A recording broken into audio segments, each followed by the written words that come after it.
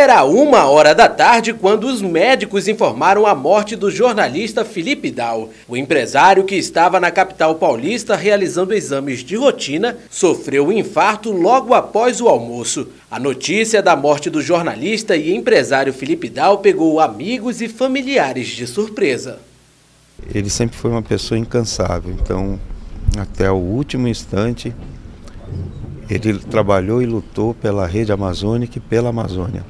Em 1968, Felipe Dal, junto com Milton Cordeiro e Joaquim Margarido, fundou a Amazonas Publicidade, que deu origem à rede amazônica de rádio e televisão. Felipe Dal era o único sócio fundador da rede amazônica que estava vivo até hoje. Olha, o doutor Felipe, ele era um empresário, mas antes de ser um empresário, ele era um homem que sonhava.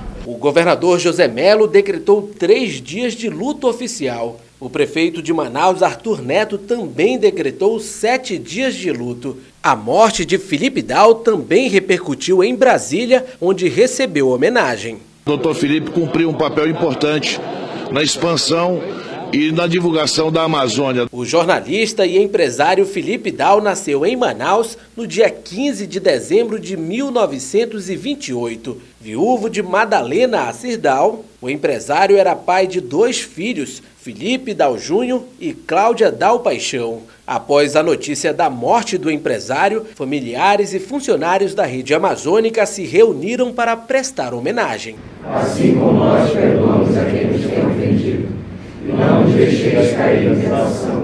mas livrai-nos do mal.